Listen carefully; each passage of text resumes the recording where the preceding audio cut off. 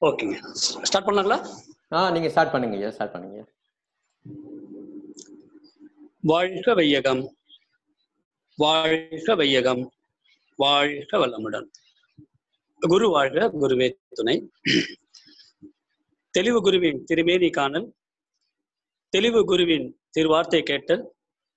தெளிவு குருவின் திருநாமம் செப்பல். தெளிவு குருவுரு சிந்தித்தல் தானே. ஆசான் அருள் தந்தை வேதாத்திரி மகரிஷி அவர்களை சிவகுமார் எழுந்தருளி நாம் அனைவருக்கும் இன்றைய சிந்தனை நல்ல முறையில் வைக. எல்லா வகையிலும் அருள்வாராக. வாழ்க வளமுடன். ஆஹ் இந்த ஜூமில் இணைந்துள்ள அனைத்து மனவளக்கிலே அன்பர்கள் மற்றும் அனைவருக்கும் என்னுடைய இனிய மாலை வணக்கங்களையும் வாழ்த்துக்களையும் தெரிவித்துக் கொள்கின்றேன். அறிமுகத்துல ஒரு சின்ன ஒரு கரெக்ஷன்ஸ் மட்டும். நான் வந்து ஒரு இருபத்தி ஐந்து வருடங்கள் அல்ல இருபத்தி ஒரு வருடங்களா மனவளக்கில் இருக்கிறேன். அதுபோல் எங்களுடைய கல்பாக்கம் மனவளக்கலை மன்ற அறக்கட்டளையுடைய நிர்வாக அரங்காவலர் பேராசிரியர் அருள் வெற்றிவிலையா நான் இந்த மன்றத்துல வந்து செயலாளராக பணிபுரிகிறேன் வாழ்க்கை வளமுடன். இன்று நம்முடைய சிந்தனை வேதாத்திரி அறிவு என்ற ஒரு உயர்ந்த சிந்தனை நாம் மேற்கொள்ள இருக்கின்றோம். பிறப்பென்னும் பிதமை நீங்கி சிறப்பென்னும் செம்பொருள் காண்பது அறிவு என்று வள்ளுவர் சொல்லுவாங்க. அறிவும் ஆற்றலும் இல்லாத பொருள் பிரபஞ்சத்துல எதுவுமே இல்லை அப்படிங்கிறது அறிஞருடைய வாக்கு. இந்த பூமியில் இருக்கக்கூடிய அனைத்து உயிரினங்களும் மிகச் சிறந்த உயிரினமான மனிதன். மனிதனுக்கு மட்டுமே ஆறாவது அறிவு உண்டு. அப்ப அந்த ஆறாவது அறிவை கொண்டு பூமியில் இருக்கக்கூடிய அனைத்து இயற்கை வளங்களையும் தன்னுடைய வாழ்விற்கு ஏற்றபடி மாற்றிக்கொள்ளக்கூடிய தன்மை படைத்த மனிதன் மற்ற எந்த உயிரினங்களுக்கும் இயற்கையை மீறி வாழக்கூடிய தகுதி இல்லை. மனிதனுக்கு மட்டும்தான் உண்டு. அவன் எதை கொண்டு இவ்வளவுத்தையும் செய்யறான் அப்படின்னா தன்னுடைய அறிவை கொண்டுதான். அறிவை கொண்டுதான் அனைத்தையும் அறிந்து கொள்கின்றான். திருமலர் ஒரு பாடலை சொல்லுவாங்க. எல்லாம் அறிவினை விட்டு எல்லாம் அறிந்தும் ஈங்கொன்றும் இல்லை எல்லாம் அறியும் அறிவினை விட்டு எல்லாம் அறிந்தும் ஈங்கொன்றும் இல்லை எல்லாம் அறிந்த அறிவை நான் எனில் எல்லாம் அறிந்த இறையனலாமே எல்லாம் அறிந்த அறிவை நான் எனில் எல்லாம் அறிந்த இறையனலாமே அப்ப ஆராதனுடைய நோக்கம் வந்து இறை அறிவு. அந்த இறை அறிவை முழுமையாக கொடுப்பதுல தான் நமக்கு குருபுரான் வேதாத்ரி மகரிஷியுடைய வேதாத்ரி அறிவு நம்மிடம் எல்லாத்தையும் இணைஞ்சிருக்கு. மனிதனுடைய பிறவி நோக்கத்தை பிறப்பெனும் செம்பொருள் நீங்கி சிறப்பெனும் செம்பொருள் காண்பது அறிவு என்று சொன்ன வள்ளுவர் அந்த பிறவினுடைய நோக்கத்தை அடைவதற்கு முழுமையான அறிவை அறிவது அவசியம் என்றாலும் ஆனால் தன்னுடைய அன்றாட வாழ்க்கையை நடத்துவதற்கு இன்னைக்கு இருக்கக்கூடிய சாதாரண அறிவு என்பது போதாத வகையில தான் இருக்கு அதற்கு வேதாத்திரி அறிவு தான். இன்று தனி மனிதன் குடும்பம் சமூகம் ஊர் உலகம் என்று நாடு உலகம் என்ற அனைத்து சிக்கல்களையும் தீர்ப்பதற்கான வழிமுறைகளை கொடுப்பதுதான் வேதாத்திரிய அறிவு. இன்னைக்கு இருக்கக்கூடிய சிக்கல் இன்னைக்கு நம்ம ஒரு இக்கட்டான காலகட்டத்துல இருக்கிறோம் நினைச்சா கூட அதுல இந்த சிக்கலுக்கு யார் காரணம்னா நம்முடைய மனிதனுடைய செயல்பாடு தான் மகரிஷி ஒரு இதுல கவியில சொல்லுவாங்க அது ஆங்கிலத்துல இருக்கும். அந்த கவியுடைய மீனிங் வந்து பாத்தீங்கன்னா இந்த பூமி இன்றைய நிலையடைவதற்கு எத்தனையோ கோடிக்கணக்கான ஆண்டுகள் பரிணாமத்துல எடுத்து வந்து இன்னைக்கு நாம இருக்கக்கூடிய இந்த பூமியாக பரிணமித்திருக்கு. இந்த பூமியே இருக்கக்கூடிய வளங்களை இந்த பூமியையும் பூமியினுடைய வளங்களையும் நாம துய்த்து அளவோடு முறையோடு துய்த்து இதை வருங்கால சந்ததிக்கு கொடுக்க வேண்டிய கடமை நம்ம அனைவருக்கும் உண்டு. இதுலதான் சிக்கல் கொஞ்சம். இன்னைக்கு உலக அளவுல பெரிய சிக்கல் இன்னைக்கு. மனிதன் வந்து இரண்டு விஷயங்கள்ல மனிதனுக்கு வந்து சிக்கல் வரும். அல்லது கவலை வரும். ஒண்ணு வந்து ஆசை இன்னொன்னு பயம். ஆசை பய ரெண்டுக்கும் மூலம் எண்ணம் என்று மகிழ்ச்சி சொல்லுவாங்க. ஆசைக்கும் பயத்துக்கும் மூலம் வந்து எண்ணம். எச்செயலும் மூலம் எனும் எண்ணத்தாலாம் இன்ப துன்ப காரணமும் அதுவேயாகும். இச்செயலும் தீ எழுந்து எரியும் போது ஏங்கிடும் அறிவை கொண்டு ஏங்கிடும் உடற்கருவிகளால் அச்சமர அனுபவித்து அணைக்கலாகும். அதை தவிர்க்க வேறு வழி இல்லை. அதனால் நச்சு விலை இச்சைகளை விளைவிக்காத நல் ஒழுக்க வாழ்க்கை முறைக்கு வழிவகுத்தேன். அதுதான் இன்னைக்கு மகிழ்ச்சி குட்டிய மனவளக்கலை. வேதாத்திரிய அறிவு. இது இல்லாத பொழுது மனிதன் வந்து தன்னுடைய ஆசையை நிறைவேற்றுவதற்கு தேவையை அதிகப்படுத்தி அதிகப்படுத்தி அதிகப்படுத்தி இன்னைக்கு இந்த சிக்கல்ல கொண்டு நம்ம நிக்கிறோம். இன்னைக்கு எங்க நிக்கிறோம் அப்படின்னா சாமிஜி ரொம்ப அருமையா சொல்லுவாங்க இன்னைக்கு. எந்த காலகட்டத்துல இருக்குன்னா ஒரு உதாரணம் சொல்லுவாங்க. ஒரு அம்மா வந்து நூல் நெஞ்சு நெஞ்சிட்டு இருக்காங்க. திடீர்னு ஏதோ வெளியில யாரோ கூப்பிடுறாங்க அப்படின்னு சொல்லி அந்த நூலை கண்டோடு அப்படியே வச்சுட்டு போறாங்க. பக்கத்துல குழந்தை இருக்கு. இவங்க போய் திருப்பி வரக்குள்ள பார்த்தா குழந்தை கையில கிடைச்ச நூல் என்ன ஆகும்? சிக்கல். அப்படியே அந்த சிக்கல்ல இருக்கு. இவங்க வந்து பாக்குறாங்க அடி எது முடியதுன்னு தெரியல. எது முதல் எது முடிவுன்னு தெரியல. சரி எங்க எங்க சிக்கல் இருக்கு? அந்த சிக்கலை அங்கங்க கத்தி போட்டு கட் பண்ணி ஜாயின் பண்ணி அப்படியே வச்சிருக்காங்க. அந்த இடத்துல தான் இப்ப இருக்கு அப்படின்னு சம மகரிஷி அடிக்கடி இந்த உதாரணத்தை சொல்லுவாங்க. அப்ப இன்னைக்கு இருக்கக்கூடிய இன்னைக்கு மனிதனை மனிதனா பார்க்க பார்ப்பதற்கு பதிலாக இன்னைக்கு ஒவ்வொருத்தரும் இன்னொரு மனிதரை நுகர்வோராக பார்க்கக்கூடிய கன்சூமரா பார்க்கக்கூடிய நிலையில வந்துட்டோம். இவர்கிட்ட நாம பலனை என்ன கிடைக்கும்? இவர்கிட்ட நாம என்ன பெற முடியும்? அப்படின்ற ஒரு நிலை தான் இன்னைக்கு இருக்கக்கூடிய சிக்கலுக்கு தான் காரணம். அடிப்படையில். ஆரம்ப காலங்கள்ல விலங்கின வாழ்க்கையை தவிர்த்து கூட்டமா சேர்ந்து வாழும் பொழுதுதான் அங்க என்ன ஒரு ஒரு குழு குழு வாழ்க்கை முறை நதிக்கரை ஓரங்கள்ல குழு வாழ்க்கை முறை தொடங்கி அப்புறம் அதுல இருந்து கொஞ்சம் கொஞ்சமா டெவலப் ஆகி வளர்ந்து தடியாட்சி முடியாட்சி கேபிட்டலிசம் சர்வாதிகாரம் கம்யூனிசம் கடைசி இன்னைக்கு குடியாட்சி மக்களாட்சியில வந்து நம்ம நிக்கிறோம். உலகம் முழுவதும். பெரும்பாலான நாடுகள்ல மக்களாட்சி முறைகள். அப்ப மக்களால் மக்களுக்கு மக்களுக்காக மக்களால் நடத்தப்படுகின்ற ஆட்சியில மக்களுடைய பங்களிப்பு என்பது மிக மிக அவசியமானது. சிலப்பதிகாரத்துல மூணு விஷயம் சொல்லுவாங்க. அரசியல் பிழைத்தோருக்கு அறம் கூற்றாகும். உரைசால் பத்தினியை உலகம் ஏற்கும். ஊழ்வினை உறுத்து வந்து ஊட்டும். அப்படிங்கிற ஒரு நிலை. மன்னன் எவழி மக்கள் அவளி ஆனா இன்று என்ன ஆச்சு மக்கள் எவழி மன்னன் அவழி ஏன்னா இன்னைக்கு மன்னராட்சி இல்ல. இன்னைக்கு மக்களுடைய பெரும்பாலுடைய மக்களுடைய மனநிலை தனக்கு தேவையானதை தேர்ந்தெடுக்கிறது தான் இன்னைக்கு வந்து நம்ம யாரையும் ஒரு குறை சொல்ல முடியாத சுட்டி காட்ட முடியாத இடத்துல நம்ம இருக்கிறோம் இன்னைக்கு. ஏன்னா குறைகள் என்பது எல்லா இடங்களும் நீக்கமர நிறைஞ்சிருக்கு. அப்ப அந்த நீக்கமர நிறைஞ்சிருக்கக்கூடிய குறைகளை நிவர்த்தி செய்வதற்கு மனிதன் உணர்ச்சி நிலையிலிருந்து அறிவு நிலைக்கு அந்த ஆறாவது அறிவான திருந்திய நல்ல அறிவு இறை அறிவை உணர வேண்டிய கட்டாயத்துல அனைவருமே இருக்கிறோம். இதுல யாரோ ஒரு சில பகுதியினர் நட்டும் மேல வந்தா போதும் அப்படின்னு நினைக்க முடியாது. ஏதோ இவங்க சரியானா போதும் அவங்க சரியான போதும் இல்ல. இன்னைக்கு உலகம் முழுவதற்குரிய அனைத்து மனித மனிதனா பிறந்த அனைவருக்குமே இன்னைக்கு மாற வேண்டிய கட்டாயத்துல இன்னைக்கு இருக்கும் அப்படிங்கிறதா இன்னைக்கு நமக்கு இயற்கை உணர்த்தி இருக்கக்கூடிய இந்த லாக்டவுன் பீரியட்ல நாம் உணரக்கூடிய விஷயமா இருக்கு எப்படி சிக்கல்கள் பெருகுது? மனிதன்கிட்ட வந்து மனிதன்கிட்ட வந்து விஞ்ஞான வளர்ச்சி விஞ்ஞான கண்டுபிடிப்பு மனிதனுக்கு மிக நிறைந்த மகிழ்ச்சிய நீடித்த நிலைத்த தொடர்ந்த மகிழ்ச்சியை கொடுக்கணும். அப்படி இல்ல. சிக்கல்கள் மேலும் மேலும் பெருகிட்டே தான் இருக்கு இன்னைக்கு. அந்த சிக்கல்களை தீர்ப்பதற்கு என்ன வழிமுறை? அப்ப முதல்ல வந்து நமக்கு வந்து புலன் அறிவு வந்து புலன்களுக்கு அடிமைப்பட்டு இருக்குது. சுவை ஒளி ஊறு ஓசை நாற்றம் என்ற ஐந்தின் வகைதிர்வான் கட்டே உலகு அப்படின்னு வள்ளுவர் சொல்றாரு. சுவை ஒளி ஊறு ஓசை நாற்றம் என்ற ஐந்தின் வகைதிர்வான் கட்டே உலகு. அப்ப இந்த ஐந்து புலன் உணர்ச்சிகளை துய்ப்பதற்கு மனிதனுக்கு வந்து பொருள் வேண்டும். மனித உறவு வேண்டும். அப்ப பொருளும் மனித உறவும் தவிர்க்க முடியாத ஒன்று. அப்ப இதை தொடர் இதை தவிர்த்து நாம வந்து துறவரம் கூட முடியாது. அப்ப துறவரம் அப்படிங்கிறது எல்லா மத இதுல சொல்ற பாத்தீங்கன்னா எல்லாத்தையும் துறந்துட்டு போறது அப்படிங்கிறது.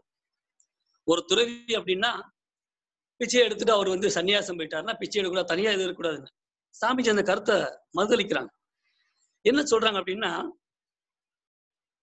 பிச்சை எடுத்து உண்டு வேதாந்தம் பேசி பிச்சை எடுத்து உண்டு வேதாந்தம் பேசி பிழை செய்தே வாழும் துறவு வேண்டேன். அச்சமின்றி உழைத்து ஈட்டி அறநின்று அறமுணத்தும் நெறியில் வாழ்வேன். எச்சேலும் சிந்திக்காத ஆற்றுவர்கள் என்னை ஏழ்மை நிலை ஏற்று வாடச் சொன்னால் உச்ச அறிவின் உயர்வில் வாழ்வோர் ஒப்புவரோ பிறதினிக்கு மீன ஈனப்போக்கை அப்படின்னு சொல்றாங்க. அப்ப நம்முடைய கடமைகளை சரிவர செய்வது நம்முடைய தேவைகள்ல தான் இருக்கு. அடிப்படை வாழ்க்கை தத்துவங்கள்ல தேவைகள் சொல்லும்போது பாத்தீங்கன்னா நமக்கு பசி தாத்தக்கூடிய தேவைகள். அப்ப நமக்கு வந்து புலன்களுடைய தேவைகளை மீறி என்ன பண்றோம்? அதற்காக அந்த பொருட்களை வந்து அதிகமாக அதிகமாக பெருக்கிக் கொண்டே போறோம். அப்ப அந்த பொருட்களை பெருக்குவதற்கு இருக்கக்கூடிய என்ன வேணாலும் செய்யக்கூடிய நிலைக்கு வந்து இன்னைக்கு வந்து மனித குலம் போயிருச்சு. அப்ப அனுபவ பொருட்களுடைய எண்ணிக்கை பெருக பெருக உடல்நலம் கெடுது. சொத்துக்களுடைய எண்ணிக்கை பெருக பெருக மன அமைதி கெடுது. பராமரிக்கப்பட வேண்டிய குடும்ப உறுப்புடைய எண்ணிக்கை பெருக பெருக வாழ்க்கை சுதந்திரம் கெடுதுன்னு சொல்லலாம் அப்ப இன்னைக்கு சமுதாயத்தில் என்னென்ன பொருட்கள் நம்ம தேவையை உற்பத்தி பண்ணி வச்சிருக்கோம்? நீங்க காலையில இருந்து மாலை வரை. இது வந்து பாத்தீங்கன்னா பிறர்மன தூண்டுதல். இந்த பிறர்மன தூண்டுதல்ல வந்து மீடியா அப்படிங்கிறது வந்து இன்னைக்கு வந்து ஒரு மிகப்பெரிய விஷயமா இருக்கு. ஏன் நம்ம இந்த அறிவை பற்றி ஏன் நம்ம இதை பேசுறோம் அப்படின்னு சொன்னா இந்த உலகம் அமைதியாக வாழ்வதற்கு. நம்முடைய அடுத்த தலைமுறை இன்னும் இன்று பல தலைமுறை கழித்து வாழக்கூடிய சமுதாயம் மக்கள் நன்றாக வாழ்வதற்கு இன்னைக்கு இந்த திருந்திய நல்லறிவு வேதாத்திரிய அறிவு என்பது அவசியமான ஒன்று. அதனால்தான் இத ரொம்ப நம்ம வலியுறுத்தி பேச வேண்டியது இருக்கு. ஏன்னு சொன்னா இறை வந்து பிறப்போக்கும் எல்லா உயிருக்கும். எந்த உயிரினத்துக்கும் பேதத்தை இயற்கை அமைக்கவே இல்லை வைக்கல. எல்லா பிறப்போக்கும் எல்லா உயிருக்கும் சிறப்பு ஒவ்வா செய்தொழில் வேற்றுமையா. அதே வள்ளுவர் சுவர் இறந்து உயிர் வாழ்ந்து நீதியெனில் பறந்து கெடுக உலகு பாரதி தனி ஒரு மனிதனுக்கு உணவில்லை என்று ஜகத்தினை அழித்திடும் என்று சொல்றான் பாரதி. அப்ப ஒரு மனிதனுடைய தேவை என்பது இந்த பூமியுடைய வளங்கள் இந்த பூமியுடைய வளங்கள் வந்து இந்த பூமியில வாழக்கூடிய அனைத்து உயிருடைய தேவையும் பூர்த்தி செய்யக்கூடிய அளவுக்கான வளங்கள் இருக்கிறது. ஆனால் ஒரு மனிதனுடைய பேராசை நிறைவு செய்ய இந்த பூமி பத்தாது அப்படிங்கிறது அறிஞருடைய வாக்கு. பூமியில இருக்கக்கூடிய வளங்களை எல்லா உயிரினங்களும் அனைத்து உயிரினங்களும் அனைத்து மனிதர்களும் வாழ்வதற்கு தேவையான அனைத்தையும் கொடுப்பதற்கு இந்த பூமி இந்த வளம் இருக்கு வளங்கள் இருக்கிறது. ஆனால் ஒரு மனிதனுடைய பேராசையை நிறைவு செய்வதற்கு இந்த பூமி போதாது என்பதுதான் உண்மை. அப்ப நமக்கு என்ன பண்றது? எப்படி இந்த வாழ்க்கையில நமக்கு சிக்கல்கள் இந்த சமுதாயத்துல எப்படி சிக்கல்கள் பெருகி இருக்கு? சாமிஜி அருமையா ஒரு கவிதையில் சொல்லலாம் சாமிஜியோட கவிதையில நம்ம ஆழ்ந்து போகணும். நீங்க ஒரு கவிதை எடுத்து பார்த்தீங்கன்னா நிறைய விஷயம் நமக்கு வந்து புலப்படும். இந்த சமுதாயத்துக்கு இன்னைக்கு கூடிய நிலையை சொல்லுவாங்க.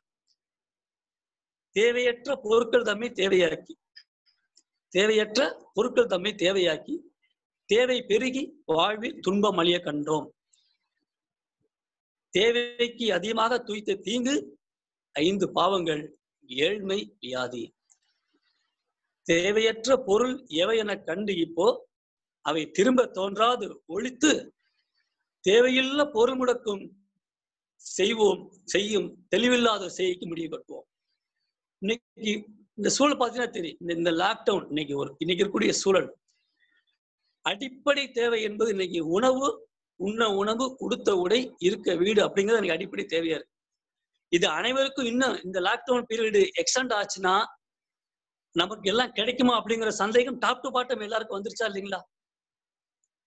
எவ்வளவோ பணம் இருக்கட்டும் எவ்வளவோ இது இருக்கட்டும் எந்த பதவி பொறுப்புல இருக்கட்டும் எல்லாம் இருக்கட்டும் ஆனாலும் கூட இன்னைக்கு இந்த அடிப்படை தேவைகளுக்கு தானே இவ்வளவு நாள் ஓடிட்டு இருந்தோம். இப்ப நாம ஏன் ஓடி இருக்கோம்? எதுக்காக ஓடணும் அப்படிங்கிறத நினைத்து பார்ப்பதற்கு இந்த பீரியட் வந்து ரொம்ப ஒரு முக்கியமான பீரியடர் எல்லாத்துலயும் எல்லாத்தையும் நம்ம என்ன பண்ணிட்டோம்? நம்முடைய சாமி சொல்லுவாங்க ஒரு பாடல்ல புற உலகை விண்ணியலால் தூய்மை செய்தால் போதா? புற உலகை விண்ணிய அதாவது உலகங்கள் ஈர்ப்பு உள்மையம் கொண்டும் உயிர் வகைகள் காந்த கருமையம் கொண்டும் நலமுடனே வடிவம் குணம் நல் இயக்கச் சீரார். நலமுடனே வடிவம் குணம் நல் இயக்கச் சீரால். நடுநிலையாம் இறை அங்க பாரிட்டி இல்ல. நடுநிலையாம் இறை ஆட்சி நடத்தும் சீர் மறந்தோ சீர்னால ஒழுங்குதான். சீர் மறந்தோ புலன் உணர்வால் அழிக்கின்றார் பூவுலக வளத்தை. புலன் உணர்வால் அழிக்கின்றார் பூவுலக வளத்தை. புற உலகை விண்ணியலால் தூய்மை செய்தால் போதா? புற உலகை விண்ணியலால் தூய்மை செய்தால் போதா? பல வகையில் சீரழிந்த சிவகாந்தம் பண்பட்டு உய்ய பண்பட்டு மக்கள் உய்ய அகத்தவம் வேண்டும். அப்ப இன்னைக்கு அகத்தவம் மனிதன் வந்து மனம் என்ற உணர்ச்சி நிலையை தாண்டி மனதுக்கு அடிப்படையா இருக்கக்கூடிய உயிர் உயிருக்கு அடிப்படையா இருக்கக்கூடிய அறிவு அறிவாக இருக்கக்கூடிய இறைவெளி இறைநிலை. இது அனைத்தையும் காட்டக்கூடிய அகத்தவத்தை மனித குலத்தில் இருக்கக்கூடிய அனைத்து உயிரங்களுக்கும் கொண்டு செல்ல வேண்டும். இன்னைக்கு எல்லா மதத்தினுடைய செயல்பாடுகளும் முடக்கப்பட்டிருக்கு. எந்த இது அது அதெல்லாம் இல்ல. எல்லா இதுவுமே. கோயில் மசூதி சர்ச்சு இன்னைக்கு எல்லாம். ஆனால் இன்னைக்கு என்ன ஆயிடுச்சு? இன்னைக்கு மனவளக்கலை இன்னைக்கு வேதாத்திரி இடத்தில் இருந்தபடி இந்த நித்யானந்த தவத்தை பற்றி மறைந்த பேராசிரியர் கேஜி சாமியா சொல்லும்போது சொல்லுவாங்க இன்னைக்கு நான் நீங்க செஞ்ச இந்த நித்யானந்த தவம் இருந்த இடத்தில் இருந்தபடி இறைவனை காண்பது நித்யானந்தம் ஆண் என்றால் அந்தம் நித்தியம் என்றால் நித்த நித்தம். அப்போது ஆனந்தம் அந்த ஆண் இருக்க இடத்துல இருந்து இந்த எப்படி துரியோதனத்துல கடந்து போய் போற மாதிரி நித்யானத்துல உள்ள போறோம் அப்போ இனு இவ்வளவு தெளிவையும் இவ்வளவு சிந்தனையும் கொடுப்பதுதான் அறிவு. அப்ப ஒவ்வொன்றிலையும் எப்பொருள் எத்தன்மை தாயினும் அப்பொருள் மெய்ப்பொருள் காண்பது அறிவு. எப்பொருள் யார் யார் வாய் கேட்பினும் அப்பொருள் மெய்ப்பொருள் காண்பது அறிவு. அப்போ ஒவ்வொரு நிகழ்வுலையும் ஒவ்வொரு நிகழ்ச்சியிலையும் ஒவ்வொரு நமக்கு வரக்கூடிய அன்றாடம் தேவைப்படக்கூடிய பொருளை அனுபவ அனுபவிக்கிறதா இருக்கட்டும் உறவுகளுடைய படவுதா இருக்கட்டும் எல்லாத்துலயுமே ஒரு ஆழ்ந்த ஆராய்ச்சியை ஓட நம்ம பண்ணணும்னு சொன்னா நமக்கு அதுல இருந்து வரக்கூடிய சிக்கல் இல்லை. வள்ளுவர் சொல்றா இல்லையா? யாதனின் யாதனின் நீங்கியான் நோதல் அதனின் அதனின் இளன். அப்ப இதுல இருந்துலாம் நம்ம வந்து என்ன சொல்றது? அந்த வித்துட்டா பண்ணி நம்ம வந்து ஒவ்வொன்றையும் கூர்ந்து கவனிக்க ஆரம்பிக்கிறோமா? விலகி நின்று பார்க்க ஆரம்பிக்கிறோமோ? அப்ப அதுல இருந்து வரக்கூடிய துன்பங்கள் நம்ம இல்ல. அப்ப அதனுடைய மூலத்தை ஒவ்வொன்றை பற்றியும் அறிவதற்கு இந்த வேதாத்திரி அறிவு என்பது மிக மிக அவசியமான ஒன்றாக இருக்கிறது. அப்படிப்பட்ட அறிவை தான் இப்ப நமக்கு வந்து பாத்தீங்கன்னா இன்னைக்கு இன்னைக்கு மருத்துவம் ஏன் மருத்துவம் பொய்க்குது? நோய் நாடி நோய் முதல் நாடி அது அன்னைக்கு வாய் நாடி வாய்ப்பை செயல் என்று சொல்வார் வள்ளுவர். அப்ப நோயை தணிப்பதற்கு இன்னைக்கு என்ன பண்றோம்? மனிதன் வந்து நாடி பார்ப்பது போக இன்னைக்கு கருவிகளுக்கு நம்ப ஆரம்பிச்சிட்டோம். அப்ப கருவிகளை நம்ம இன்வெஸ்ட் பண்றோம். அப்ப அந்த இன்வெஸ்ட்மெண்ட் எடுக்க வேண்டியிருக்கு. எப்போ வந்து வாழ்க்கை வந்து இந்த அறம் என்பது மாறி போச்சோ அப்ப ஆ- ஆ- ஆரம்ப காலங்கள்ல காடுகள்ல விலங்குகளா இருக்கக்கூடிய மனிதன் ஒரு இடத்துல நின்று வாழும் பொழுது குழுவாக வாழும் பொழுது ஒரு மனிதன் பெறக்கூடிய துன்பத்தை பார்த்து இன்னொரு மனிதன் இறங்கும் போது அறம் தோன்றிட்டு சொல்லுவார். அதாவது பிற உயிர் உணர்தலாக பெற்றிடும் சுகதுக்க இயல்பினை உள்ளம் கொண்டு யூகித்து உணர்ந்து இறங்கி உதவும் திருப்ப மனிதன் பெற்ற நாள் அறம் தோன்றிற்று. பின் அதை வளர்த்தோர் பெயரான் மதமாயிற்று அப்படின்னு மகரிஷி. அப்ப இன்னொரு உயிர் படுவதற்கு துன்பத்தை போக்குவதற்கு எப்ப வந்து மனசு தயாராச்சோ அப்ப அங்க அறம் தோன்றியது. அப்ப அந்த இன்- துன்பத்தை போக்கும் பொழுது நமக்கு என்ன அந்த துன்பத்தை போக்குறோம். அப்ப நாம ஒரு மனிதனுடைய துன்பத்தை உயிருடைய துன்பத்தை போக்கும் பொழுது இன்னொரு இறைவனுக்கே செய்யறோம்ன்ற நிலை போய் இந்த உயிருடைய துன்பத்தை போக்க நமக்கு என்ன கிடைக்கும் அப்படின்னு சொல்லும்போது அங்க வணிகம் வந்துடும் அப்ப எந்த இடத்துல வந்து வணிகம் வியாபாரம் தலை தூக்குதோ அப்ப அங்க வந்து என்ன ஆகும்னு சொன்னா இதுவெல்லாம் இப்படிப்பட்ட சிக்கல்கள் எல்லாம் தவிர்க்க முடியாத ஒண்ணாக இருக்கும். எப்படி நம்ம பேராசி வீரப்பன் அடிக்கடி சொல்லுவார் இல்லையா? அதாவது நூறுல போறவன் நூத்தி எட்டுல போறது தவிர்க்க முடியாது. எப்படியோ? நூறுல போறவன் அதாவது டூ வீலர்ல நூறுல போறவன் நூத்தி எட்டுல போறதை எப்படி தவிர்க்க முடியாதோ அது போக செயல்பாடுகள் வணிகமயமாகும் பொழுது இப்படிப்பட்ட துன்பங்களை நாம தவிர்க்க முடியாது அப்படிங்கிறதா உண்மை. இது கசந்தாலும் இதுதான். அப்ப இந்த மருத்துவம் என்பது கல்வி என்பது எல்லா வியாபாரம் போச்சு ஒரு மாஜி ஐநாவுடைய செக்ரட்டரி ஜெனரல் உதாரணம் சொல்றாரு. அவர் education makes man a doctor and engineer. And or a teacher but does not make a man a really a man அப்படிங்கிறார். ஒரு கல்வி மனிதனை என்ன பண்ணிருச்சு மருத்துவனாகவோ பொறியாளராகவோ ஆசிரியர் ஆக்கிருச்சு ஆனா மனிதனை மனிதனாக மாற்றாத கல்விதான் தான் இருக்கு. அப்ப இந்த கல்வி கல்வி என்பது அறிவு. தொட்டனை தூரும் மணற்கேணி மாண்டதன் கட்டணை தூரும் அறிவு. அப்ப அறிவு என்பது வாழ்க்கையை எப்படி நடத்துவது? மற்றவரோடு எப்படி இணக்கமாக இருப்பது? இந்த பிறவி நோக்கத்தை எப்படி அடைவது? இதை செலுத்துவதற்கு தான் கல்வி என்பது இருந்தது. அந்த கல்வி இன்னைக்கு முழுமையாக வியாபாரமாக ஆகிவிட்டது. மருத்துவம் வியாபாரமாக ஆகிவிட்டது. எல்லாம் வியாபாரம். அப்ப இதனுடைய விளைவுதான் நமக்கு இருக்கக்கூடியது. அப்ப இதுல இருக்கக்கூடிய இத்தனை சிக்கல்களையும் கூர்ந்து கவனித்து இதை சரி பண்ணக்கூடிய அறிவு எங்க இருக்குன்னா வேதாத்திரி அறிவு தான் அப்ப இந்த வேதாத்திரியம் அறிவு என்பது உலகம் முழுவதும் பரவினால் மட்டும்தான் இப்படிப்பட்ட சிக்கல் என்ன இருக்கும்? நிச்சயம் மாற முடியும். இன்னைக்கு நமக்கு வந்து ஒரு கொரோனா அப்படிங்கிற ஒரு நுண்ணுயிரி ஒரு வைரஸ் இது வரைக்கும் டிஎன்ஏ பத்தி பேசுறாங்க. இப்ப ஆர்என்ஏல இருக்கக்கூடிய பண்புகள் அது இடத்துக்கு ஏத்த மாதிரி மியூட்டேஷன் மாறிட்டு இருக்கு அப்படிங்கிறாங்க சயின்ஸ்ல இன்னைக்கு. இதை கண்டுபிடிக்க முடியல. ஏன் கண்டுபிடிக்க முடியல? மருந்து இந்த மருந்து சரியா இது இந்த நோய் சரியாறதை விட இந்த நோயின் மூலமாக எப்படி நம்ம சம்பாதிக்கலாம் அப்படிங்கிற ஒரு எண்ணம் இன்னைக்கு இருக்கு. ஒரு சில எல்லாரும் ஒரு சில வணிகர்கள்ட்ட இருக்கிறனால தான் இன்னைக்கு என்ன ஆகுது? அது சரி பண்ண முடியல. இவ்வளவு இருந்தா கூட இன்று இன்று விஞ்ஞானம் சொல்லக்கூடிய கணக்கு கணக்கா இருக்கட்டும் இல்ல இன்னைக்கு டபிள்யூஎஸ் சொல்லக்கூடிய கணக்கா இருக்கட்டும் இது காட்டுல பரவுறது எல்லாத்தையும் பரவுறது போக அப்படின்னு பாத்தீங்கன்னா இன்னைக்கு இந்த நேரத்துல இன்னைக்கு இந்த ரெண்டு கிட்டத்தட்ட இரண்டு மூன்று மாசங்கள்ல நம்ம எல்லாரும் அடிச்சிருக்கணும் அப்படின்னா அப்படி நடக்கல. அப்ப என்ன பண்ணுது? நடுநிலை இறை வந்து சரியாக நடத்திட்டு இருக்கு. அப்ப இதுல வந்து நம்முடைய உணவு உணவு நம்முடைய கலாச்சாரம் நம்முடைய க- கட்டுப்பாடு இதெல்லாம் நமக்கு என்ன இருக்கு? நிச்சயமாக இந்த வியாதி மட்டும் அல்ல இனி வருங்காலத்துல இவங்க அதாவது பரவ பரவிச்சோ அல்லது பரப்பப்பட்டதோ அது ஆண்டவனுக்கே வெளிச்சம். அப்ப அந்த இது கூட நம்ம என்ன பண்ண முடியும்? நிச்சயமாக இதை சமாளித்து இது போன்ற நிலையை நாம நிச்சயமாக இதுவும் கடந்து போகும் என்று சொல்வது போல இது நிச்சயமாக கடக்க முடியும். அதுல நமக்கு எல்லளவும் நமக்கு சந்தேகம் தேவையில்லை. இப்ப இன்னைக்கு என்னன்னா இந்த புதியதொரு சமுதாயம் இந்த இருக்கக்கூடிய சமுதாயம் ஆல்ரெடி என்ன ஆச்சுன்னா ஒரு ஒரு பக்கம் முழுக்க முழுக்க கரப்டடு ஏன்னா இயற்கை என்ன பண்ணும் சொன்னா எதையும் தனியா உட்காந்து ஆண்டவன் தனியா உட்காந்து நம்ம செய்யறது இல்ல நம்முடைய எண்ணத்தினுடைய மனதின் மறுமுனை தெய்வம் அப்படின்னு சொன்னா என்னுடைய மனதின் மறுமுனை தெய்வம் என்றால் தீயது செய்யக்கூடிய அவனுடைய மனதின் மறுமுனையும் தெய்வம் தான் அப்ப ஒரு மழை மழை பெய்வது என்பது ஒரு சாதாரண பொதுவான ஒன்று. அது ஒரு குயவன் இன்னைக்கு மழை பெய்யக்கூடாது பானை பிடிக்கிறனா பண்றான். இன்னைக்கு பானையை சுட வைக்கிறோம் மழை பெய்யக்கூடாதுன்னு நினைக்கிறான். இன்னைக்கு ஒரு விவசாயி மழை பெய்யணும்னு நினைக்கிறான். அப்ப இரண்டையும் என்ன பண்ண வேண்டியிருக்கு? பேலன்ஸ் பண்ண வேண்டியிருக்கு இயற்கை. அப்ப எல்லாத்தையும் பேலன்ஸ் பண்ண வேண்டியிருக்கு. அப்ப எல்லாருடைய மனங்கள் வரக்கூடிய எண்ணங்களுக்கும் சொற்களுக்கும் எல்லாத்துக்குமே இந்த இயற்கை எல்லாத்தையும் பேலன்ஸ் பண்ண வேண்டியிருக்கு.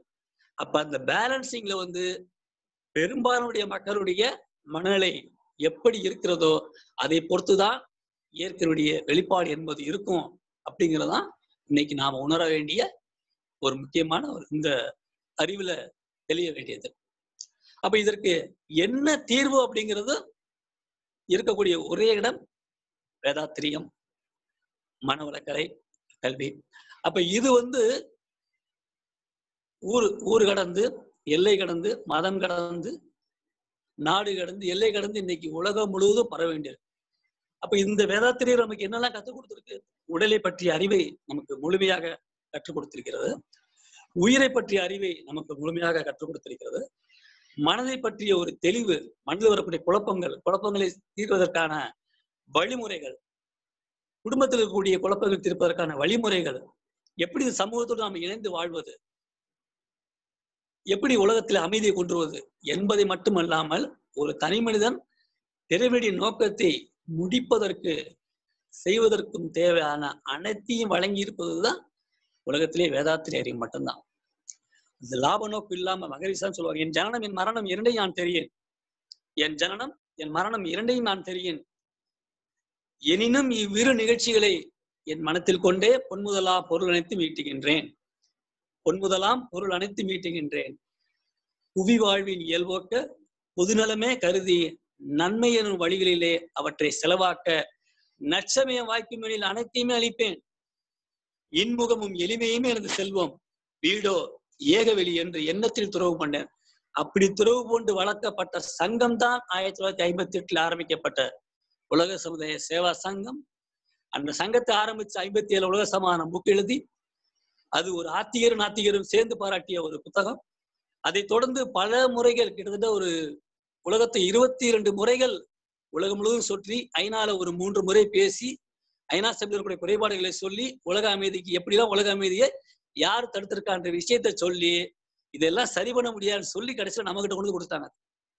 அப்ப இது வந்து உலக சமாதானம் என்பது உலகத்துல கூடிய அனைத்து மக்களிடம் இருக்கக்கூடிய அமைதி அந்த தெளிவு அந்த அறிவுடைய உயர்வு இதுதான் உலகத்துடைய அமைதியாக இருக்கக்கூடிய இதுதான் நிரந்தர சொத்தாக நிரந்தர தீர்வாக இருக்க முடியும் அப்ப இதுல மனதிலிருந்து விடுபடுவதற்கு அந்த மனதை சரியாக வைப்பதற்கான அகத்தவத்தை மனதை வலிமைப்படுத்த எப்படி சூரிய ஒளி பரவலாக அனைத்து இடங்களில் இருந்தாலும் அது ஒரு பேப்பர் போட்டு எரிய வைக்க முடியாது. அதே சூரிய ஒளிய ஒரு லென்ஸுங்கிற ஃபோக்கஸ் வச்சு அதை ஃபோக்கஸ் பண்ணி அந்த இடத்த ஒரு இடத்துல குவிச்சோம்னா எப்படி அந்த சூரிய ஒளி ஒரு இடத்துல திரிவு பெற்று அந்த பேப்பரோ அந்த தீக்குச்சி எரியறது போல நம்முடைய மனம் பல வேலையில செய்யக்கூடிய மனதை ஒருமுகப்படுத்தி உள்முக கடந்து உள்ளே சென்று ஐந்து பங்கு கடந்து உள்ளே சென்று ஒருமுகப்படுத்தி மனதை வலிமைப்படுத்தி ஒருமுகப்படுத்த ஒருமுகப்படுத்தப்பட்ட மனதை வலிமைப்படுத்தப்பட்ட மனதை தூய்மையாக்கி மனதை விரித்து எல்லையற்ற பெரு பெருவெளியோடு இணைத்து அவர் உயர்ந்த நிலைக்கு மற்றவர்களையும் தன்னிடம் இருக்கக்கூடிய அதாவது எல்லாருமே வந்து பாத்தீங்கன்னா அந்த சிஷியர்களை உருவாக்குவாங்க. சிஷியர்கள் எல்லாம் பாத்தீங்கன்னா இவருடைய இந்த சன்னிதானம் அப்படின்னு ஒரு பாரம்பரியம். ஆனால் குரு பாரம்பரியத்தை உருவாக்கி உருவாக்கி வர வேதாத்ரி மகரிஷி. இவர் சொல்லணும் மகான்களை உருவாக்கிய மகோனதமான மகான் அப்படின்னு கேஜி சாமி மறைந்த பேராசிரியர். அதாவது எல்லாரும் இவருடைய சாமிஜியோடைய வார்த்தைகளை சாமிஜியோடைய தெளிவு எல்லாருக்கும் வந்துச்சுன்னா அனைவருமே மகான் தான். அனைவருமே பெருமாள் தான். பெருமாள்ன்ற வார்த்தை கூட சொல்லுவாங்க. பெருமாள் பெரிய ஆள் பெரிய மனிதன். அப்ப இங்க வந்து பாத்தீங்கன்னா இறைவனை மையப்பற்றிய ஆன்மீகத்தை கடந்து இது மனிதனை மையப்படுத்தக்கூடிய உயிரினத்தை மையப்படுத்தக்கூடிய மனிதன். இந்த மனிதனுக்கு நமக்கு எப்படி இந்த உரிமை இந்த பூமியில் வாழ்வதற்கு உரிமை இருக்கிறதோ அதே போல பூமியில் வாழக்கூடிய அனைத்து உயிரினங்களுக்கும் சம உரிமை இருக்கு. இதான் உணவு சங்கிலி என்பதுதான். ஏன் நமக்கு வந்து ஒரு இந்திய அரசாங்கத்தினுடைய இந்திய இந்தியாவுடைய தேசிய விலங்கு புலி என்று சொல்றீங்க? அதை பாதுகாக்கிறோம். ஒரு புலி வாழ்ந்ததுன்னா அந்த புலியை சுத்திடக்கூடிய பல கிலோமீட்டர் அந்த காட்டுல வந்து மற்ற உயிரினங்கள் அந்த புலிக்கு தேவையான உணவு உணவு உள்ள உயிர்னா அதுக்கு தேவையான சொல்லி அந்த புல் முதல் புல் பூண்டுல இருந்து ஆரம்பிச்சு ஒரு உயிரினம் வரைக்கும் அனைத்தையும் இருப்பதுதான் அனைத்து சேர்ந்ததுதான் அந்த சூழல் சூழலியல்.